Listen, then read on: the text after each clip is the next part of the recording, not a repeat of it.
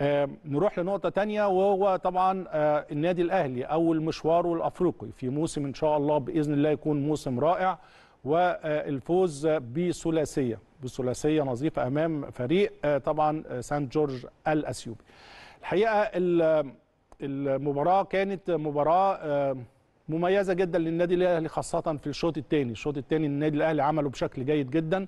آه، مارسيل كولر بيحط تشكيلة مختلفة شوية عن المباراة اللي فاتت وده الروتيشن اللي بنتكلم عليه.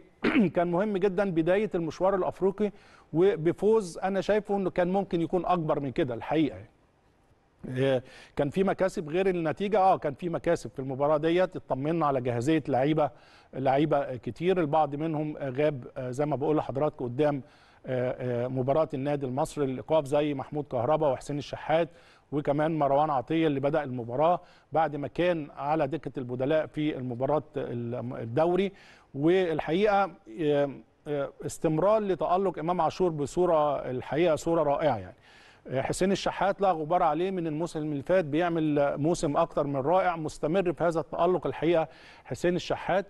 ودايما لما بتكلم عن النادي الأهلي آه في لعيبة آه، يعني بتحط بصمتها في المباراة ولكن أنا شايف إن من بعد مباراة السوبر الحقيقة النادي الأهلي آه، الصورة الحقيقية بدأت تظهر تاني. التركيز واضح جدا الأداء آه، حتى اللعيبة ال rotation اللي بيتعمل على أعلى مستوى. الصورة اللي قدامكم حسين الشحات ما شاء الله عليه محمد هاني ماشي بخطى ثابتة فعايز أتكلم الحقيقة عن عن مباراة سان جورج. والمكاسب الكتيرة اللي أنا قلت لحضراتكم عليها مكاسب على مستوى اللعيبة ال- ال- ال- ال rotation اللي حاصل بشكل كبير جدا.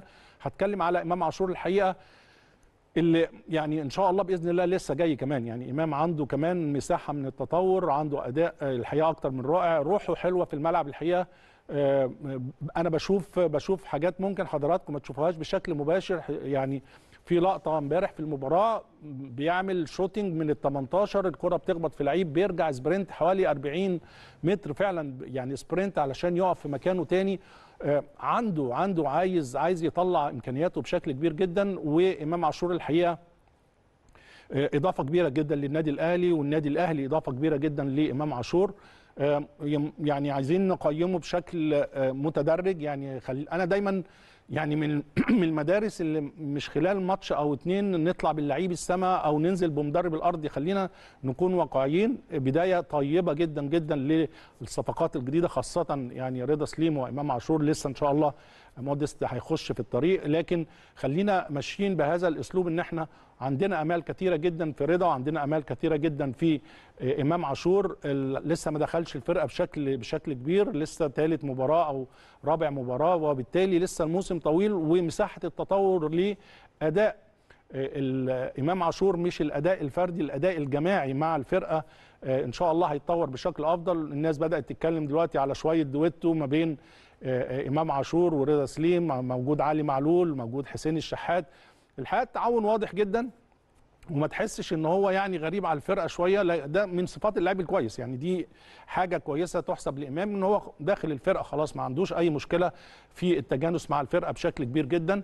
فدي دي من مكاسب المباراة الحقيقة. آه، آه، الحاجات اللي ممكن أقف عندها شوية خلينا يعني دايما بتك على الحتة ديت لأن لازم تكون عند لاعبتنا ولازم تكون الثقافة دي موجودة. لو قادر تكسب خمسة وستة وسبعة وثمانيه اكسب. ليه لا؟ يعني مباراة امبارح رغم إن إحنا أدينا بشكل جيد لكن أنا برضو النتيجة لا أنا قلت النتيجة المفروض تطلع 7 8 في فرق كبيرة جدا وهنتكلم النهارده في الأسبوع دوت في نتائج كبيرة. يعني المان يونايتد كسب بالثمانيه بايرن ميونخ كسب بالسبعة. فأنت لو قادر وعندك القدرة والمباراة تسمح والخصم يسمح إنك تكسب سبعة وثمانيه ده شيء هايل.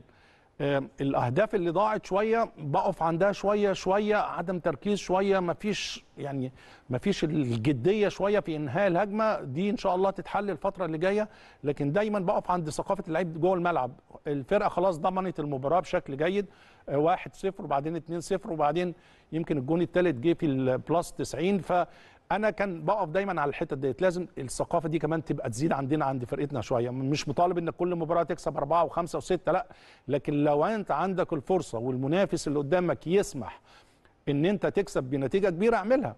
شفنا على مستوى على مستوى أوروبا شفنا يعني شفنا نتائج كبيرة جدا جدا. شفنا برشلونة آه البايرن بيكسب برشلونة 8 والبايرن بيكسب بوخم 7 وبعدين آه المان يونايتد يكسب بالثمانيه في عندنا النهارده في الحلقة تاريخ النتائج الكبيرة كمان في البريمير ليج هتلاقي أرقام 8 و9 فالثقافة دي لازم تكون موجودة عند لاعبتنا بشكل كبير. المنافس لو أنت قادر اكسب. وأي فرصة تجيلك ما تقولش آه يعني لو دي ضاعت هجيب اللي بعديها. هتيجي مباريات مش هتجيلك ثلاث أربع فرص في المباراة فلازم يكون عندك الإحساس دوت لازم يكون ال ال ال ال الثقافة دي لازم تكون موجودة عندك بشكل كبير. آه كل التوفيق لفرقتنا. إن شاء الله حضراتكم عارفين الجمعة اللي جاية هتكون مباراة العودة وأتمنى إن شاء الله يتحقق. لو هذا منافس بهذا يعني القدر الفني اللي ممكن تستطيع إنك تكسب أربعة وخمسة وستة ما تقولش أنا كده الماتش الأولاني كسبان ثلاثة خش الماتش واكسب ستة وسبعة لأن كمان ده بيسمع ده بيكون نتائج تاريخية بتتكتب في التاريخ غير إن أنت بتنمي هذه الثقافة.